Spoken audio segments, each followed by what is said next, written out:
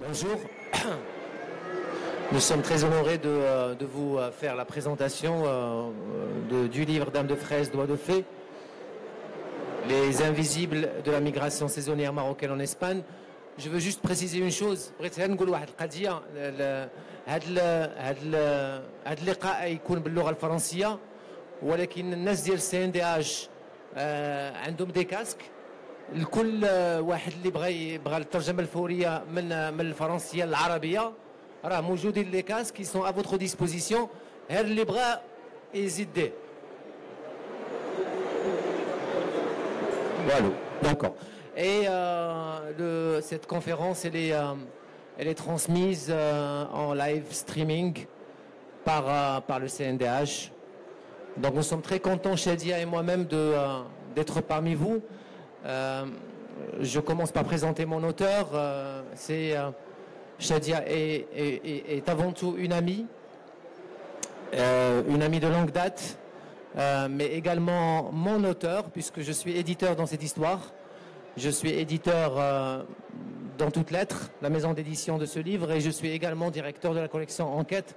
Je suis fier et très heureux que ce livre-là, Dame de fraise, Doigt de fée, soit euh, ou fasse partie de la collection Enquête que nous avons démarré il y a quelques années, euh, Kenza Sfrewi et moi-même, euh, au sein de la, de, la maison d'édition en toutes lettres. Alors, euh, Shadia, mon amie, euh, elle est sociologue et géographe, chercheuse CNRS à Angers, également mi- militante associative pendant de longues années. Et c'est dans ce cadre-là euh, qu'au au tout départ, nous nous sommes connus.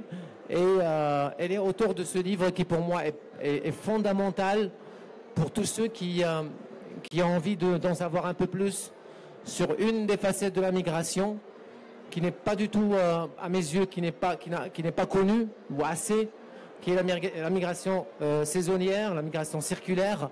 Et, et Shadia a passé de nombreuses années à faire ce travail-là. Et donc, euh, je suis très honoré euh, de, euh, de la présenter ici.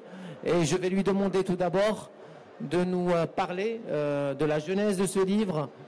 Qu'est-ce qui a fait que, Shadia s'est intéressée déjà à ce sujet et comment, comment l'idée du sujet est, s'est développée pour devenir un livre. Donc voilà, je l'invite à, à- vous parler de, de son livre. Voilà. Merci beaucoup euh, Hicham, Euh, merci au CNDH de m'inviter, Euh, merci pour cette présentation, merci pour les mots que tu as utilisés, hein, parce que vraiment euh, je suis aussi euh, très euh, honorée et fière euh, d'avoir euh, contribué à, cette première collection ouverte aux chercheurs, puisque la collection euh, euh, en toutes lettres euh, enquête est avant tout ouverte aux enquêtes journaliste. Et donc vous m'avez fait euh, confiance, toi et Kenza, et vous m'avez euh, donné l'opportunité euh, d'ouvrir cette collection aux chercheurs. Et pour cela, je t'en remercie infiniment, Hicham. Donc oui, je ne peux pas commencer à parler du livre sans parler effectivement de notre amitié qui nous a amené à présenter par la suite cet ouvrage. Donc d'abord euh, dire que euh, c'est après une thèse de doctorat en géographie où je me suis intéressée euh, principalement aux hommes marocains, donc la migration masculine vers l'Espagne, l'Italie et la France, euh, qui m'a euh, ouvert les yeux vers euh, une autre thématique qui est celle du genre et des migrations. J'ai commencé à m'y intéresser à partir de 2009 et je dois dire qu'en 2009, euh, j'ai rencontré, d'abord j'ai eu un projet financé par la MERM, l'Association marocaine des études sur les recherches en migration au Maroc. Et j'ai surtout rencontré en 2008, un an avant, ma principale informatrice qui est Saïda, que j'ai rencontrée dans la province d'Azilal et qui a été la clé euh, de mon enquête, qui m'a ouvert les portes, euh, qui m'a permis de l'accompagner pendant cette euh, migration saisonnière, la cueillette des fraises. Elle m'a introduite dans sa maison, elle m'a ouvert ses portes, elle m'a présenté ses, amis qui étaient sur place. Et donc, c'est comme ça qu'a commencé l'aventure. D'abord un intérêt scientifique, hein, comme, comme je vous l'ai dit, d'abord parce que euh, je pense que la thématique des femmes en migration est très importante et qu'elle est très peu traitée finalement dans, les sujets et les problématiques de recherche en sciences sociales et qu'il était devenu très important de travailler dessus. D'autre part, cette migration en particulière, puisqu'il y avait très peu de travaux sur l'immigration saisonnière en Espagne, et qu'en plus, euh, bah, derrière ça, il y avait aussi euh, euh, une analyse que j'avais envie de porter et d'humaniser aussi un programme, et peut-être qu'on y reviendra tout à l'heure, un programme qui me semblait très théorique, très réfléchi en amont, alors que voilà, il y a des femmes qui circulent tous les ans et j'avais envie d'humaniser aussi cette migration circulaire. Voilà ce que. Merci beaucoup.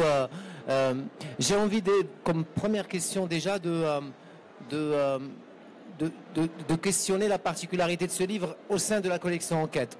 Je veux juste, entre parenthèses, parler de, du fait que cette, collection-là sort des, livres sur des thématiques de société par le biais de l'enquête et du reportage. Et donc, j'avais réalisé un livre d'autres femmes d'Aude Mulet les oubliés du Maroc profond, qui est un livre journalistique, d'enquête journalistique et de reportage journalistique.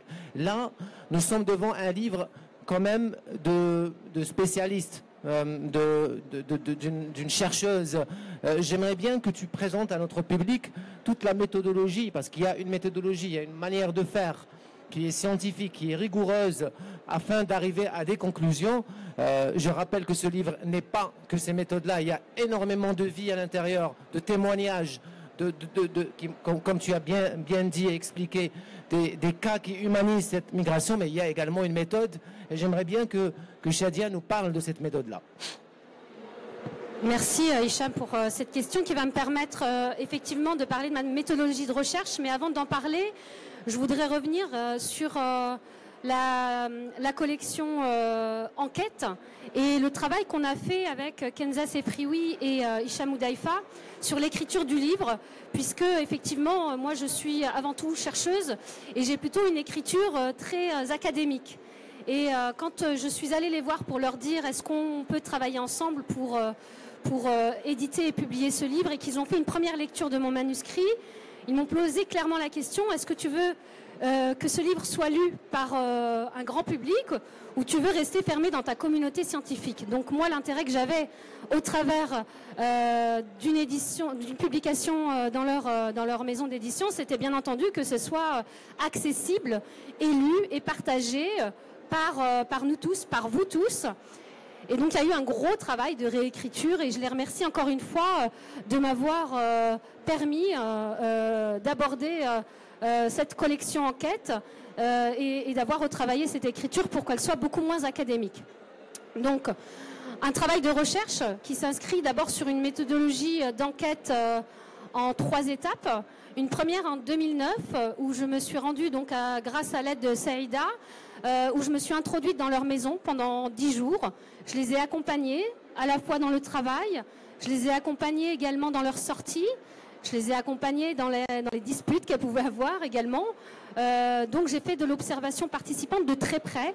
Et c'est cette observation participante qui m'a permis euh, d'avoir une confiance assez importante auprès de ces jeunes femmes et qui m'a permis ensuite de faire des entretiens très approfondis, des entretiens à la fois en Espagne, mais aussi au Maroc, puisque j'ai essayé de les retrouver dans leurs espaces d'origine pour bien comprendre euh, comment euh, elles vivaient aussi euh, antérieurement. C'était très important pour moi aussi, ces, parcours biographiques, de tenir compte de leur vie au Maroc avant de venir en Espagne.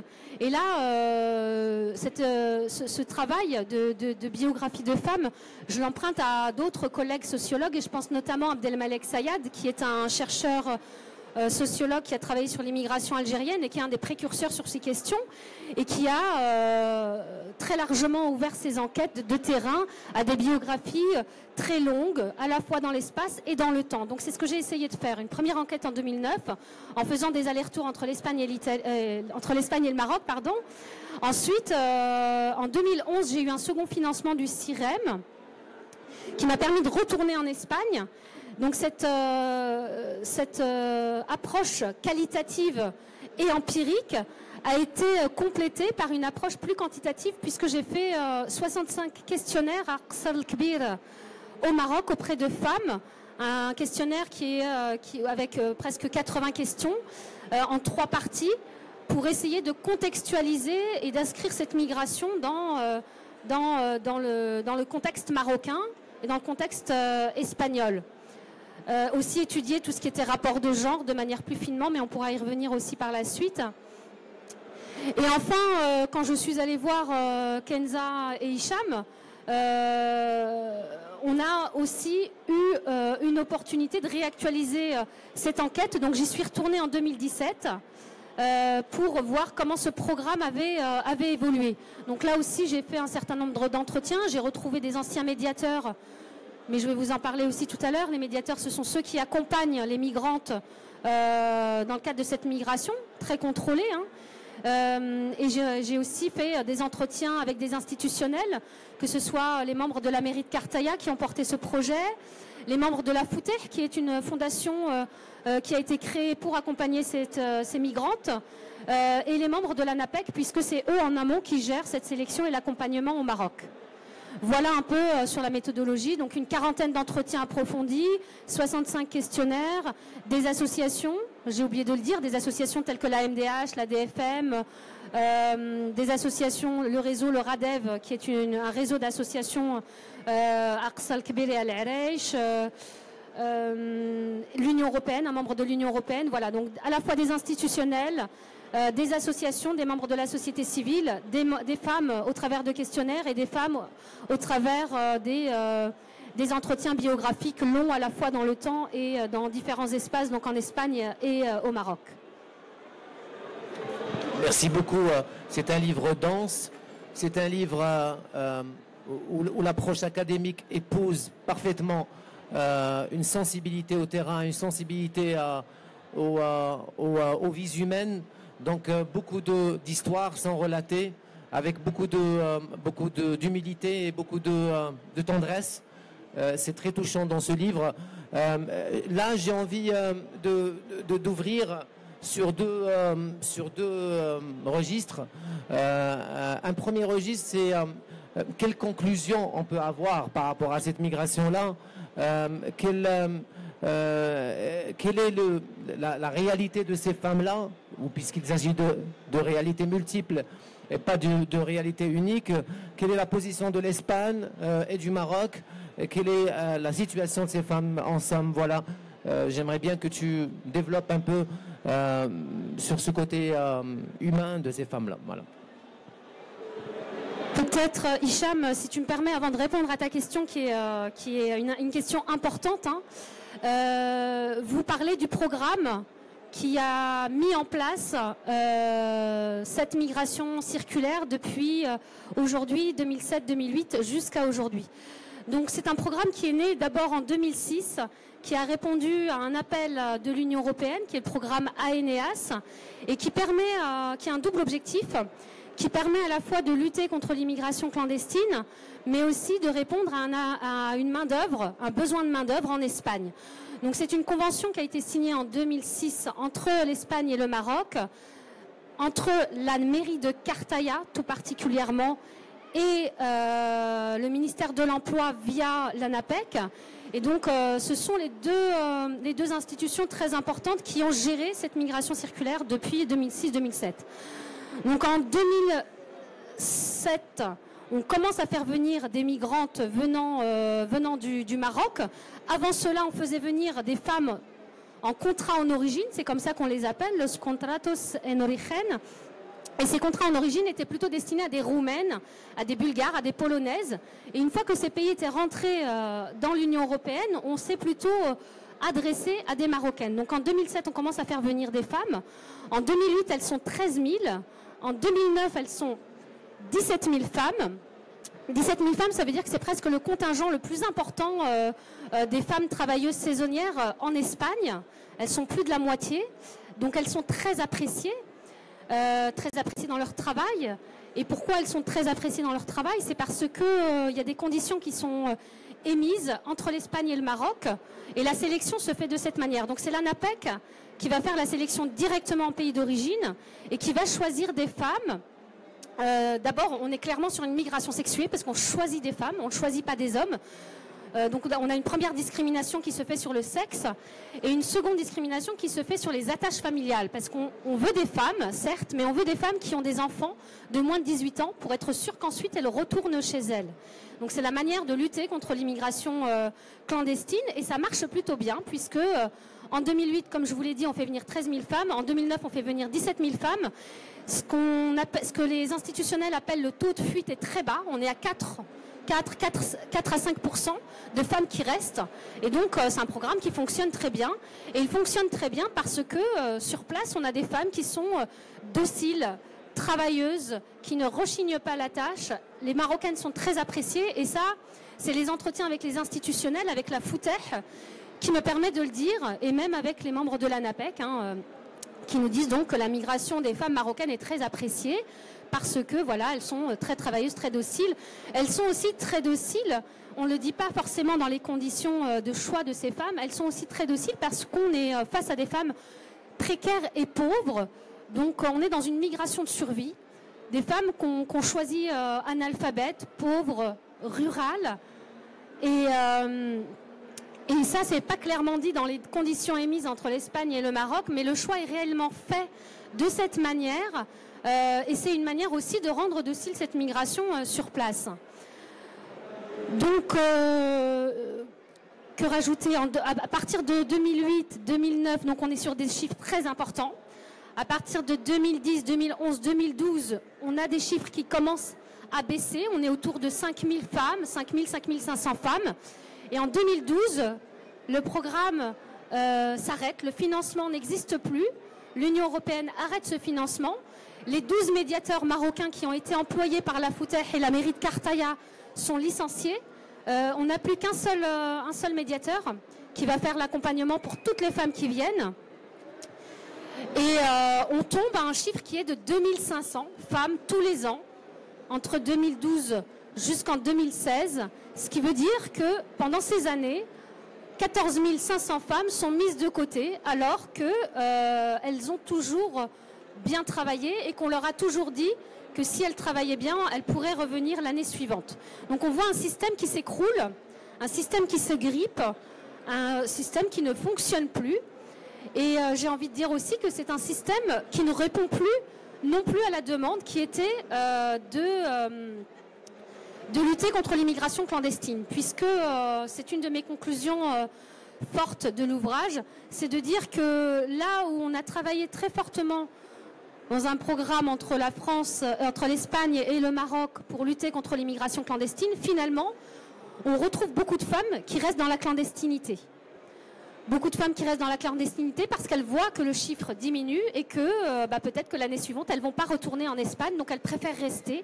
Donc là où l'objectif principal était de lutter contre l'immigration clandestine, on a l'effet inverse qui est euh, de la fabrication de la clandestinité sur un territoire qui veut lutter euh, contre l'immigration irrégulière. Donc on pourra peut-être revenir, euh, si vous le souhaitez, sur ces parcours de femmes et notamment celles qui sont dans l'irrégularité.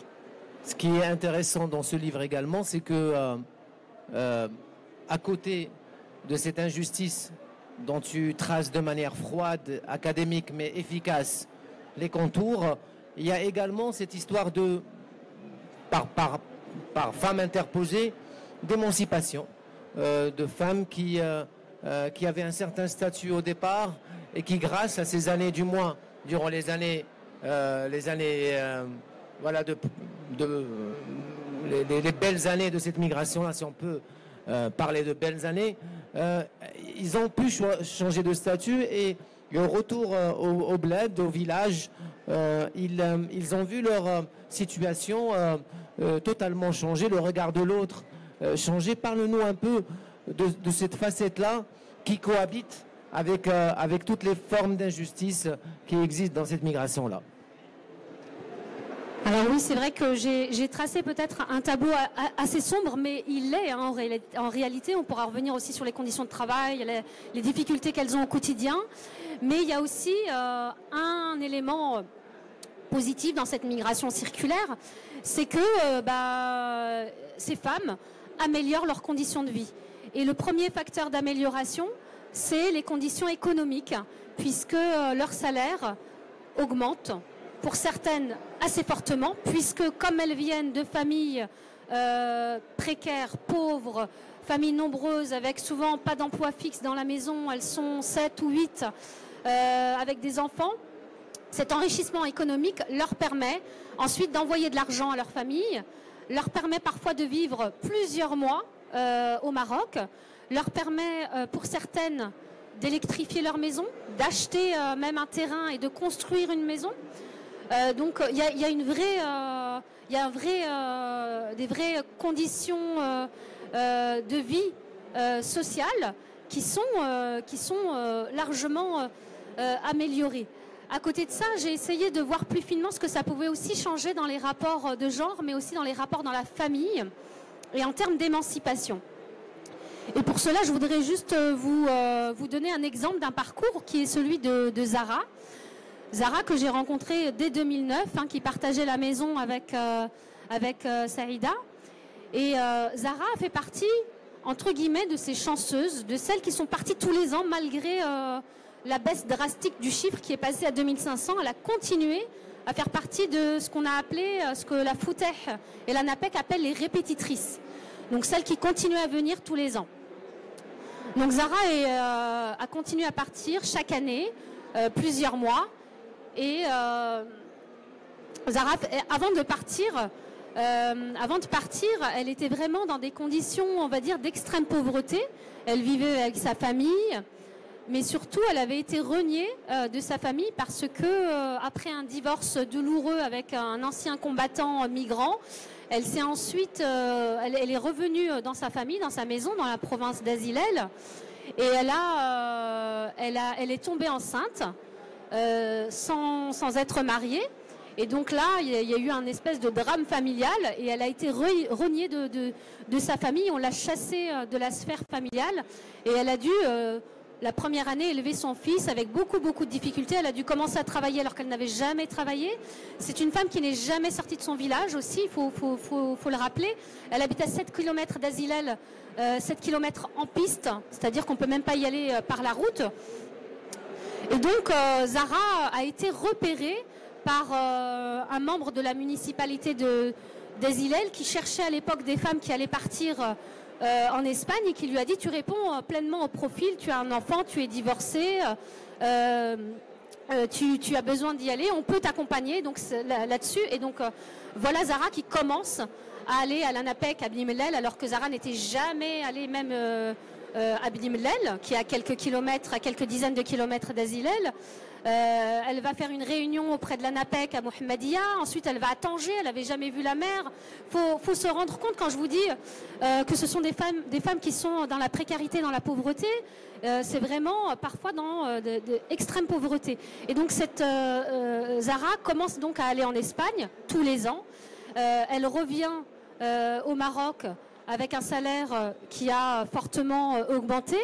elle est elle est euh, réintroduite dans la sphère familiale également. Euh, Zara, elle gagne aussi en confiance, confiance en elle, assurance. Euh, ce qui fait que, par exemple, plutôt que de rester chez elle quand elle revient d'Espagne, elle a aussi une mobilité à l'intérieur du territoire qu'elle n'avait pas avant. Donc elle va travailler, par exemple, à Agadir dans l'agriculture. Euh, la dernière fois que je l'ai vue, c'était en 2017, cet été. Elle travaillait dans un hôtel à Azilel. Donc il y a des formes d'émancipation euh, très fines qu'on peut quand même percevoir. Euh, et, Zara est un exemple assez intéressant parce que on voit aussi au travers de son parcours que l'enfant, c'est ce qu'elle nous dit dans l'entretien qu'on a avec elle, l'enfant en fait qu'il avait, avait fait écarter de sa famille et de son village, finalement, c'est lui, encore une fois, c'est grâce à lui qu'elle part en migration et donc c'est grâce à lui qu'elle euh, est réintroduite dans la famille et qu'elle est vue autrement dans le, euh, dans le village. On la sollicite pour prendre des décisions au niveau de la famille. On voit aussi des rapports de gens qui changent au sein euh, de la sphère familiale. Je voulais vous parler de cet exemple précis, mais il y a d'autres euh, processus d'émancipation euh, euh, pour d'autres femmes qui sont, importants. Et le plus important, hein, je le redis, c'est l'aspect économique, c'est les conditions économiques et sociales qui, changent et qui font évoluer ces femmes. Merci beaucoup. J'aimerais bien qu'on puisse poser cette migration également dans un contexte historique. lancé très bien qu'au Maroc, pendant les années 60, euh, on, venait au Maroc pour, euh, euh, majoritairement dans le territoire rural, prendre des hommes, des hommes forts, aller travailler en France dans les mines et dans les usines françaises. Est-ce qu'il y a une similitude entre cette migration que moi je juge esclavagiste entre guillemets de ces années-là et cette migration euh, circulaire, euh, euh, édulcorée certes par des, par des mots de la sorte, mais est-ce qu'il y a des similitudes et s'il y a des différences, lesquelles? Alors, c'est intéressant de faire ce parallèle entre ce qui s'est passé dans les années 60 et ce qui se passe aujourd'hui. Parce qu'on a l'impression, en fait, que ce qui se passe aujourd'hui, c'est complètement nouveau et que euh, bah, le terme qui était utilisé par exemple par Nicolas Sarkozy en France d'immigration choisie est quelque chose de révolutionnaire et de novateur.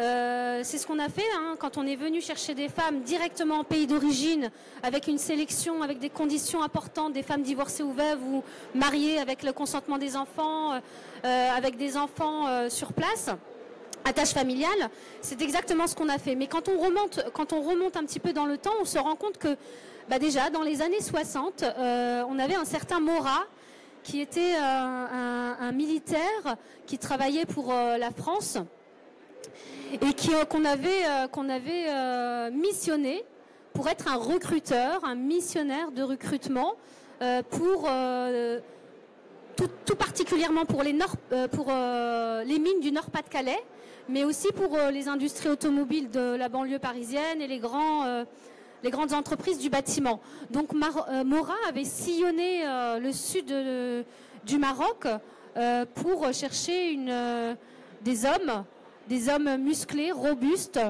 Et donc les travaux qui, existent sur, sur cette, cette partie de l'histoire franco-marocaine, on nous dit clairement que les hommes étaient choisis pour leur, pour leur force, pour leurs muscles, et que euh, parfois Mora leur tâtait euh, les mains pour voir si c'était des travailleurs ou, non, et qu'ensuite il y avait une visite médicale et qu'on pouvait leur mettre un tampon vert ou un tampon rouge pour, euh, pour dire le tampon vert qu'ils allaient partir en France. Et en faisant des entretiens avec ces jeunes femmes, bah, je me suis rendu compte que cette sélection, elle avait un vrai, des vraies similitudes, puisque bah, Saïda, par exemple, avec laquelle j'ouvre mon livre dès l'introduction, hein, euh, j'avais envie de, rendre compte euh, dès les premières lignes euh, d'un parcours de ces femmes. Saïda nous dit clairement, bah voilà, il prenait pas les, il prenait pas les grosses. quand on est moche, c'est mieux. Il vous, il vous pas arriver maquillé. certains nous regardaient les mains. Moi, ils m'ont pas regardé les mains, mais ils nous regardent les mains pour voir si on est des travailleuses.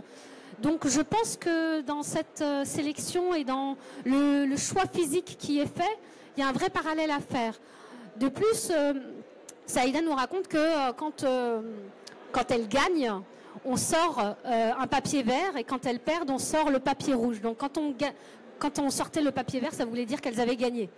Donc, et elles en rigolent entre elles, puisque après avoir travaillé plusieurs années, elles, elles me disent bah oui, en fait, on, a, on a beaucoup galéré pour être recrutées et finalement, tout ça pour euh, travailler dans, la misère, euh, entre guillemets. Donc il y a un vrai parallèle à faire. Euh, il faut savoir aussi que ce modèle a été désigné par l'Union européenne par un modèle de réussite et il a été copié ensuite par d'autres d'autres formes de migration circulaire. J'ai cru comprendre par exemple que on emmenait des hommes en Haute-Corse marocains, des, hommes marocains en Haute-Corse pour aller travailler dans l'agriculture de la même manière qu'on choisissait euh, des femmes euh, aujourd'hui. Donc euh, voilà une histoire un peu qui se répète. Et je pense qu'il y a vraiment des choses à, mettre en parallèle et, à surveiller par la suite. Ce qui est, à tout, tout, tout, à ton honneur, c'est que tu as vécu quand même des jours et des nuits avec ces femmes-là et tu as vu témoigner de leurs conditions de vie euh, à ce, moment-là même de la migration où c'était prospère, sans parler des moments durs de cette migration-là. Qu'est-ce que tu peux nous raconter en détail sur le vécu de ces femmes-là et, des conditions de travail dans lesquelles il, il, voilà, il naviguent c'est des femmes, comme je vous l'ai dit tout à l'heure, qui sont euh, pauvres, précaires, parfois qui avaient déjà travaillé dans l'agriculture avant de venir euh, euh, en Espagne. Donc le discours qu'elles vont avoir, finalement, c'est plutôt de, dire bah, on est bien payé et on est dans des bonnes conditions de travail. Mais si on compare un pays qui est quand même un pays des droits humains par rapport à ce qui se passe au sein de ces serres, on peut effectivement, comme l'a dit Hicham tout à l'heure, se dire qu'il y a des formes d'esclavagisme. Elles sont, bien payées, hein, certes, mais elles n'ont, pas le droit au chômage, elles n'ont pas le droit à la retraite, elles n'ont pas, de droits sociaux. Par exemple, euh, elles peuvent avoir la sécurité sociale, mais on ne leur dit pas. Donc si elles ne, le, si elles ne font pas la, démarche propre, elles ne, peuvent pas l'acquérir. Et donc il y a un certain nombre de droits quand même qui sont bafoués. Euh, elles sont aussi dans des conditions de travail qui sont assez difficiles. Hein. Euh, elles sont dans des serres, il fait très chaud. Travailler 8 heures sous une serre, c'est extrêmement difficile. De plus, il y a un certain nombre de pesticides qui sont utilisés. Donc je pense que dans les années à venir, on aura un vrai problème de santé publique auprès de ces femmes et qu'il faudra vraiment surveiller ce qui s'y passe. Il y a un autre droit qui est bafoué pour moi qui est très important, c'est le droit à la mobilité.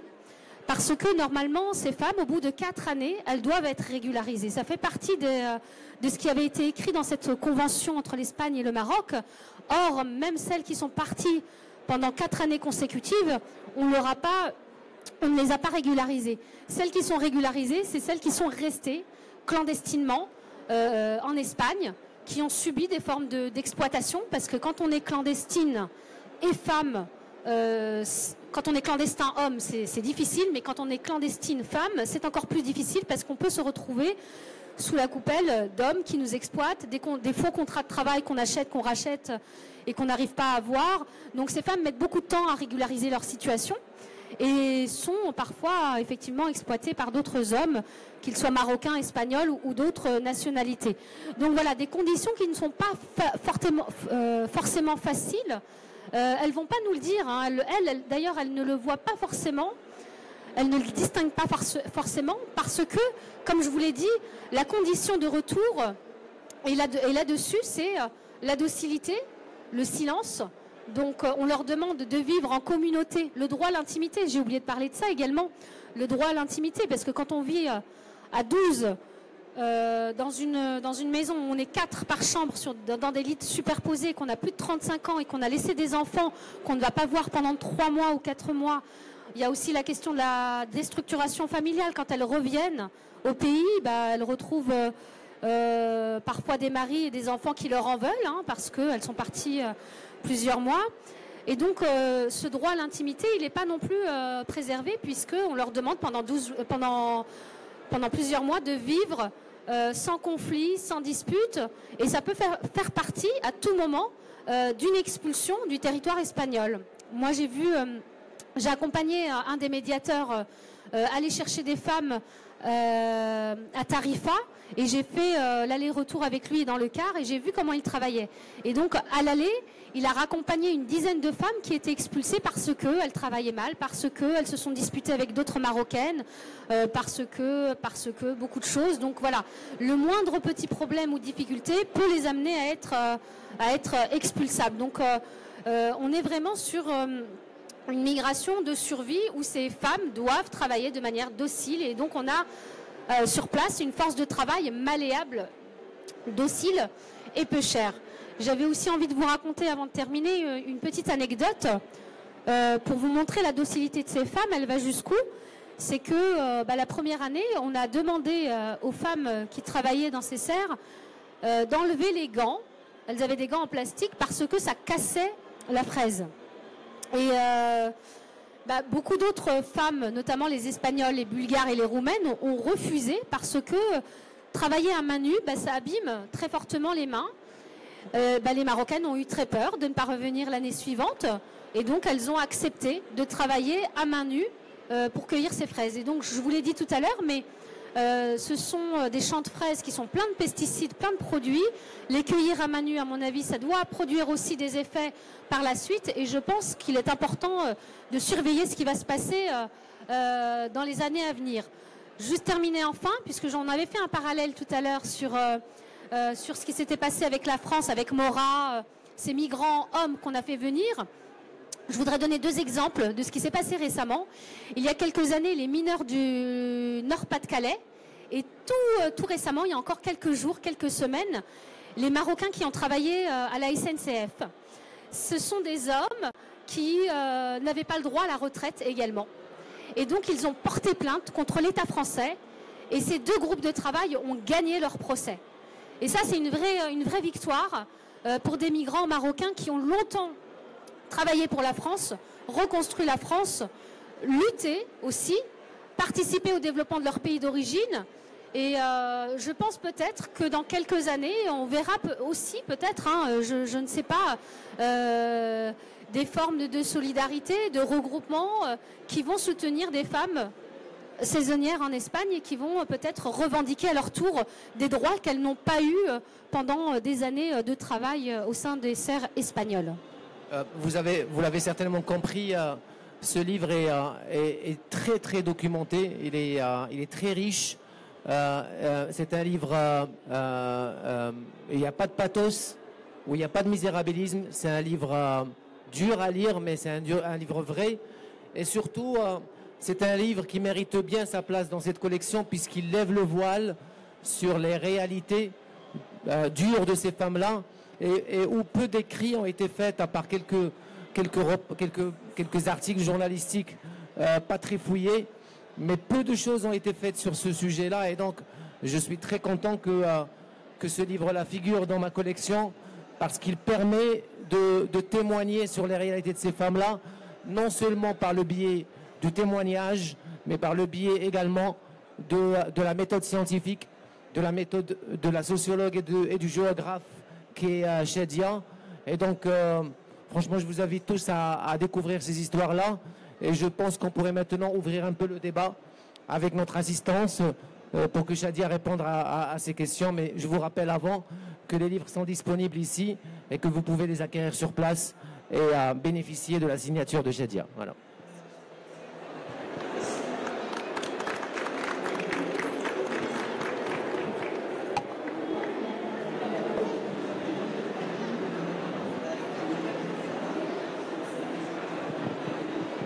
Je salue Madame Shadia Arab. Je salue aussi mon ami Hicham Hudeifa. Euh, bravo, bravo pour votre travail. Vous avez, c'est un travail vraiment formidable. Euh, seulement, euh, moi, pendant que je n'ai pas eu encore le livre, hein, vous me le donnerez tout à l'heure. Oui, mais il m'a tout le temps tracassé cette affaire de convention. C'était à l'époque, je crois, du gouvernement Yousfi, où il y avait euh, la convention avec euh, l'Andalousie pour maintenir les saisonnières euh, pendant un certain temps en cotisant au, secteur social pour pouvoir bénéficier plus tard de leur retraite. Alors je ne sais pas où est-ce qu'on en est. Et puis on parle en plus des conditions qu'on a avancées cette année pour le, nombre euh, d'âge des saisonnières, s'ils sont mariés ou s'ils ont des enfants, pour qu'ils ne puissent pas donc euh, rester sur place, euh, pour qu'ils puissent revenir tranquillement chez eux, elles, et après peut-être revenir plus tard. et puis la troisième chose, c'est cette question que j'ai entendu une sorte d'organisation secrète, genre mafia, genre groupement de proxénètes, etc., qui exploitent les, ces isonnières. Est-ce que c'est vrai? Je voudrais un éclaircissement. Merci.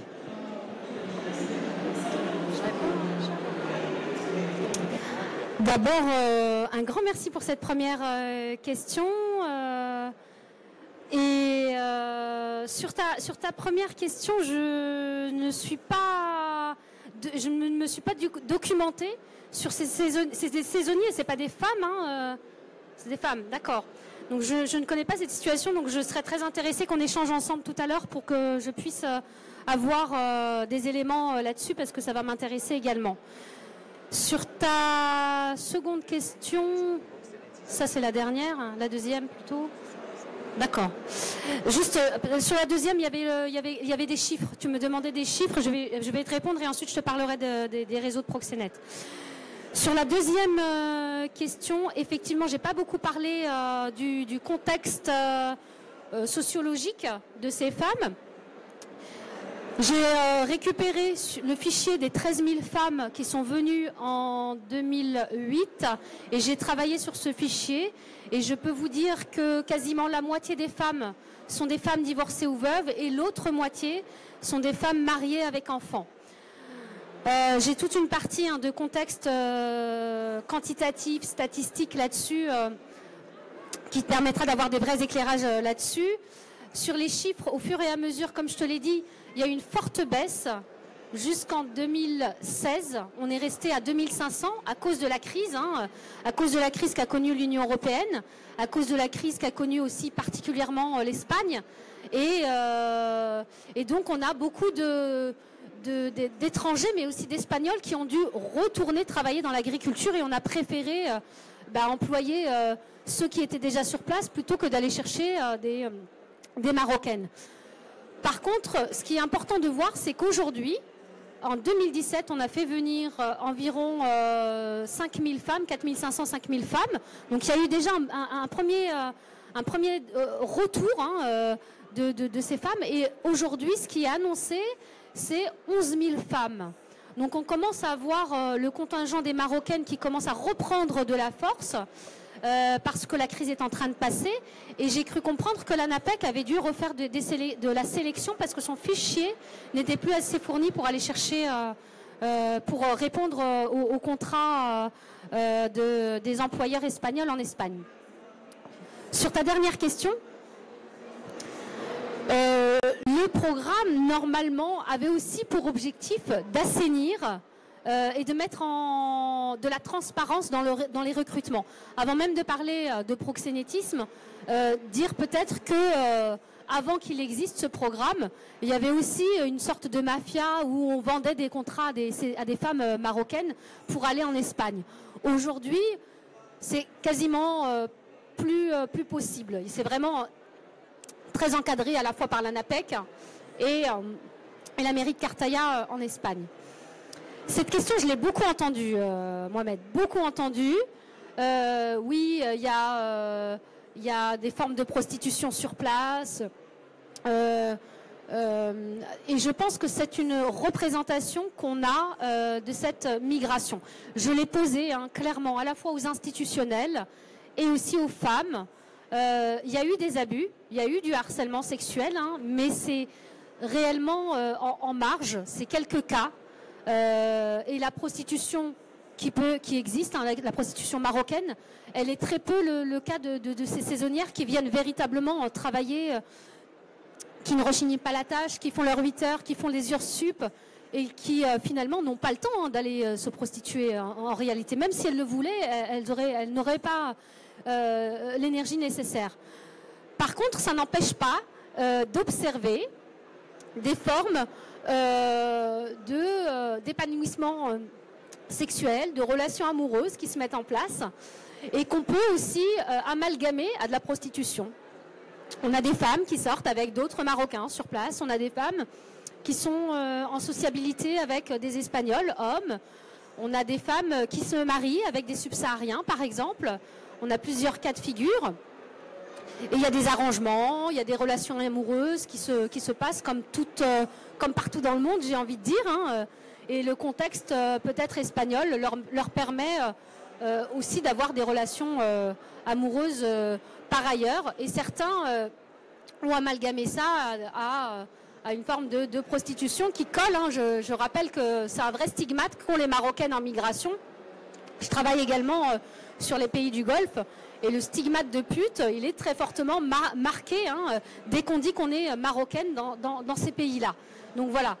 Voilà pour répondre euh, peut-être partiellement à, la question. Euh.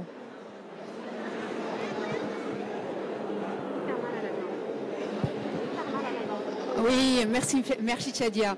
Bah, moi, euh, je, voulais que tu reviennes un peu sur ce qui m'a un peu interpellé sur la fabrication de la clandestinité. Parce que c'est vrai que, je ne sais, pas si tu m'entends, mais c'est justement parce qu'à un moment donné, quand, j'avais fait euh, l'entretien avec le NAPEC et j'étais même dans le recrutement d'une deux journées justement de ces femmes, euh, l'une des choses qui est revenue, c'est que justement la, le premier groupe qui n'était pas sélectionné euh, de, certaines régions, il y avait seulement, il y avait un taux de fuite très important. C'est-à-dire que la plupart des femmes, justement, qui venaient de Casablanca, etc., et c'est celles-là, celles-là, à la rigueur, entre guillemets, qu'on peut dire qui font partie de ce qu'on a, des, candidates potentielles à l'immigration clandestine.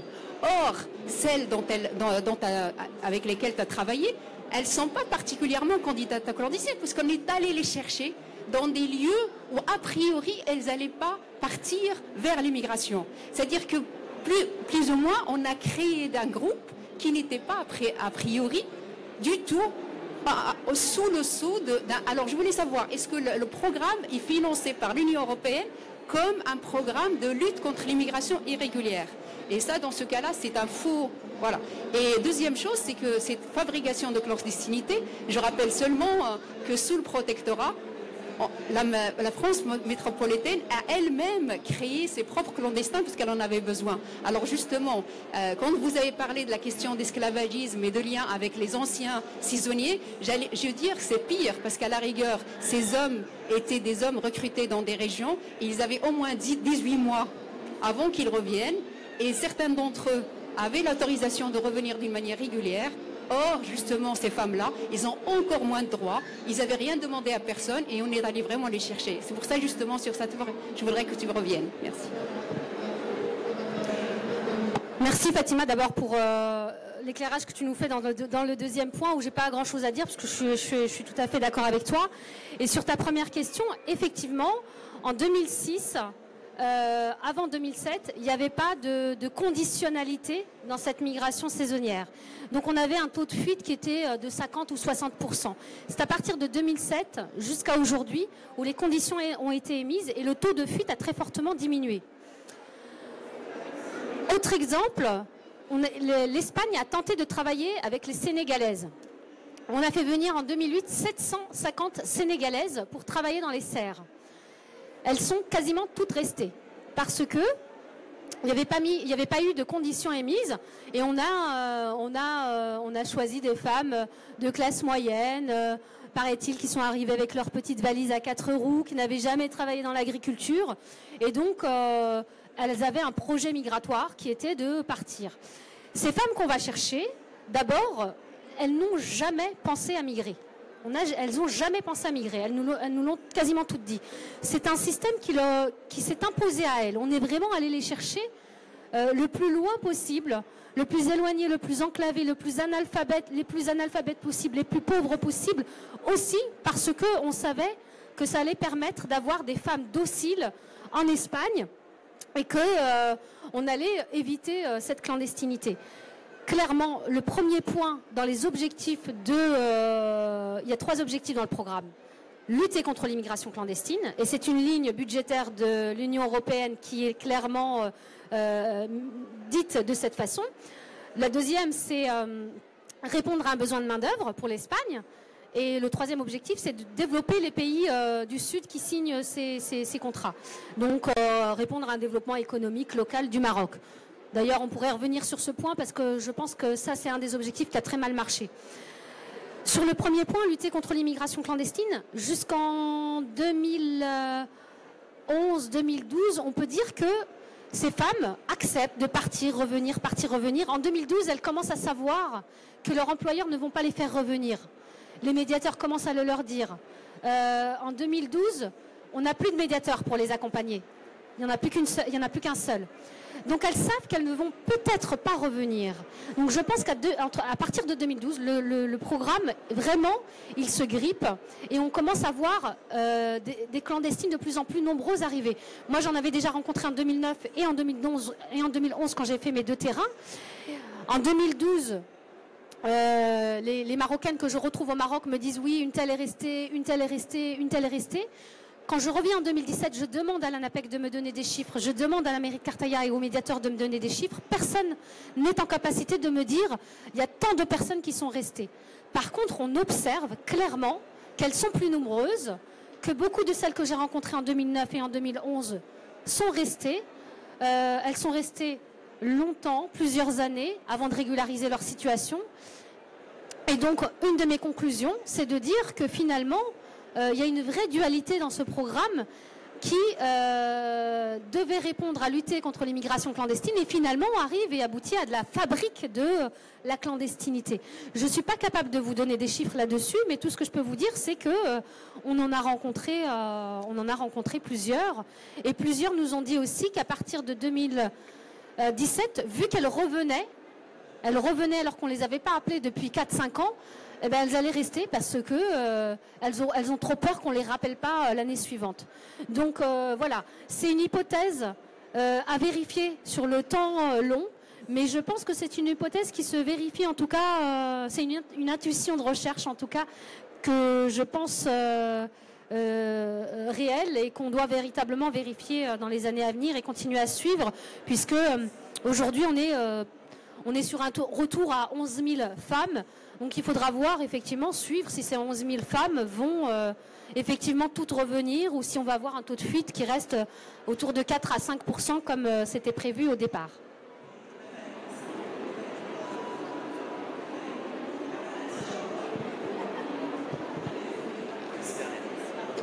Euh, tout d'abord, je tiens à vous, à vous féliciter euh, je me suis arrivée de Dakhla vers euh, Casablanca pour assister à cette euh, présentation et donc que je trouve extrêmement importante. je vais être bref. J'ai une question qui concerne est-ce qu'on peut dire que malgré ces femmes ont pu régler la situation financière, mais elles ont vu la même marginalisation, même exclusion, même hagra que vivent les, femmes ici au Maroc, les, ouvrières? Merci. Bah D'abord, euh, je vous remercie euh, infiniment d'avoir fait euh, la route depuis Dakhla. merci. Et votre question, elle est, elle est importante parce que effectivement, celles qui ont eu la chance entre guillemets, parce que j'ai pas envie de parler de chance dans une migration où je vous ai expliqué quand même que les conditions de travail étaient difficiles, qu'un certain nombre de droits étaient bafoués, euh, euh, que c'est de la chance. Mais en tout cas, pour celles qui ont pu continuer à repartir tous les ans, véritablement, il y a une vraie amélioration euh, au niveau des conditions, des conditions de vie. Celles qui ont été mises de côté et qui sont les plus nombreuses, hein, comme je vous l'ai dit tout à l'heure, il y a 14 500 femmes qui ont été mises de côté pendant plusieurs années. Ben, elles ont dû revenir à leur état de pauvreté. Certaines ont, trouvé, ont retrouvé du travail en tant qu'ouvrières agricoles, connaissant euh, les conditions de travail qu'on a quand on est euh, ouvrière agricole ici au Maroc, elles sont encore plus difficiles qu'en Espagne. Donc euh, oui, pour certaines, euh, euh, bah, c'est compliqué hein, de, ne pas pouvoir repartir. Et c'est aussi pour ça que quand elles repartent, eh ben, elles préfèrent quand même rester. Et comme dirait une, des cadres de l'ANAPEC avec qui j'ai eu un entretien, elle nous a dit, elle préfère vivre l'enfer en Espagne plutôt que vivre l'enfer ici. Alors, c'est pas le même enfer, mais d'une certaine manière, il y a quelque chose de, difficile dans cette, vie en, clandestinité en Espagne. Je ne sais pas ce qui est le mieux. Hein. Est-ce que c'est de se retrouver ouvrière agricole euh, au Maroc ou de se retrouver clandestine en Espagne? Mais en tout cas, les deux, pour moi, sont, euh, des conditions difficiles de travail qui sont, euh, qui sont des formes d'exploitation pour les, pour les deux. Donc, je vais ajouter quelque chose? Pardon. Une, dernière question peut-être avant de, clore. Bah, il y a la, madame qui était. Merci. Salam alaikum. Bonjour tout le monde. Euh, tout d'abord, je tiens à vous remercier tous les deux pour cette euh, ce, cette bel ouvrage, en fait, cet ouvrage magnifique et scientifique très intéressant qui retrace en fait les, les trajectoires et le parcours des femmes, euh, des femmes marginalisées, des femmes de la marge, des femmes montagnardes aussi, de ce Maroc inutile malheureusement, qu'on n'en parle pas, qu'on en parle très très très peu, que soit par les scientifiques ou même par les, les médias euh, euh, à l'échelle du Maroc ou bien à l'échelle internationale. Donc je tiens vraiment à vous remercier pour euh, ce travail qui, analyse le rouage de la migration, particulièrement la, migration féminine au Maroc. Donc en fait, ma question euh, j'aimerais bien savoir euh, qu'est-ce que vous pensez en fait aujourd'hui des femmes comme actrices développement, euh, développement local et territorial dans les marges? Donc le rôle de ces femmes dans les marges du Maroc et en même temps des femmes comme médiatrices, donc des passeurs des médiatrices et des passeurs, en fait, ce que les uns et les autres appellent les go-between, en fait, deux espaces des deux côtés en fait de la Méditerranée. Euh, qu'en est-il aujourd'hui en fait de, ces passeurs ou bien de ces passeuses, je ne sais pas comment dire, passeuses ou bien passeurs avec ES à la fin? Et la deuxième question, en fait, euh, j'aimerais bien savoir qu'en est-il euh, du taux de la migration féminine dans la province d'Azilal, étant donné que cette province fait partie des provinces les plus pauvres du Maroc. Est-ce que le taux a augmenté ou bien a diminué euh, donc voilà, j'aimerais bien savoir. Euh, merci. Merci beaucoup euh, Fatima pour, pour, ces, pour ces nombreuses questions. D'abord, dans le titre de mon ouvrage, vous avez vu que le terme de... D'abord, j'essaie de rendre hommage à ces femmes. C'est pour ça que je les nomme dames de fraises. parce que oui, c'est une migration de survie, mais c'est aussi des femmes très courageuses, euh, très courageuse et auquel j'avais envie aussi de, rendre hommage euh, au travers de ce livre. Euh, dans ce titre, il y a aussi les invisibles de la migration. Comme l'a rappelé tout à l'heure dans son ouvrage, Hicham, il a parlé, lui, des oubliés, des femmes dans le milieu rural. J'avais aussi envie de faire écho à son, ouvrage et aussi parler de, personnes dont on parle finalement très rarement, très peu, et leur donner la parole à travers, euh, à travers euh, cet ouvrage. Donc euh, oui, tu l'as bien souligné, c'est vraiment rendre hommage à des femmes qu'on ne voit pas, des femmes qui viennent du Maroc inutile, du Maroc pauvre, des montagnes. Sur ta dernière question sur la migration clandestine de la province d'Azilal, dans les années 90 et 2000, la la région de Benimelal Azilal, qui est maintenant euh, plus, grosse que, que, ça, mais à l'époque, en tout cas quand j'avais fait ma thèse, ça faisait partie de la région la plus importante en termes euh, d'exportation de migrants euh, clandestins vers l'Espagne et vers l'Italie. je pense qu'aujourd'hui, ça s'est vraiment amoindri, on en trouve beaucoup moins. Euh, mais ça s'explique aussi par la politique migratoire euh, Schengen de l'Union européenne qui a très fortement euh, fait en sorte de contrôler les frontières des pays du Sud, de réadmettre un certain nombre de, migrants, d'assigner à résidence les gens qui sont au Sud, de travailler aussi à l'externalisation des frontières et en rendant le Maroc aussi actif dans la surveillance de ces, euh, de ces frontières. Donc on a vu un nombre de migrants très fortement baissé venant du Maroc et on a vu d'autres populations arriver qui sont euh, les migrations subsahariennes. Mais euh, je ne suis pas une spécialiste de ces questions. J'ai des collègues tels que Mehdi Aliwa qui ont travaillé sur ces questions que je vous invite à lire. Sur la question du développement, merci de la poser parce que j'ai pas eu le temps de l'aborder. Mais comme je le disais tout à l'heure, c'était un des objectifs hein, de, de, de, travailler aussi sur le développement du Maroc. Et euh, finalement, ce qu'on a pu voir, c'est qu'on euh, a très peu de femmes qui sont euh, des véritables actrices et générant de l'activité économique, tout simplement parce qu'elles ne sont pas accompagnées et qu'elles n'ont pas et qu'elles n'ont pas les, capacités euh, de devenir des, vrais euh, investisseurs, des, vrais euh, chefs d'entreprise quand on n'a pas des clés pour travailler sur ces questions-là. Donc je pense qu'il y a eu aussi un ratage dans ce programme, c'est tout toute la partie accompagnement à travailler à un développement et à rendre des femmes leaders dans, cette, dans cette partie-là. Donc euh, peut-être que ça, on va, aussi y remédier, mais euh, cet ouvrage est un, ouvrage d'observation, d'analyse, mais aussi euh, de mettre en alerte sur un certain nombre de choses qui n'ont pas fonctionné. J'espère que, par exemple, on aura des sociétés civiles qui vont s'organiser et prendre en main, prendre en main ces, questions. Shadia, merci beaucoup pour, pour ton exposé.